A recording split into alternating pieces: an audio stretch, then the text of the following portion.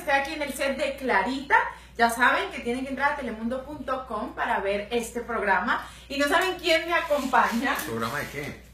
¡Oh! oh, oh! Están aquí hablando Nada, con un mi Sandy. un momentico. Sammy y Willy ya pasó, ¿ok?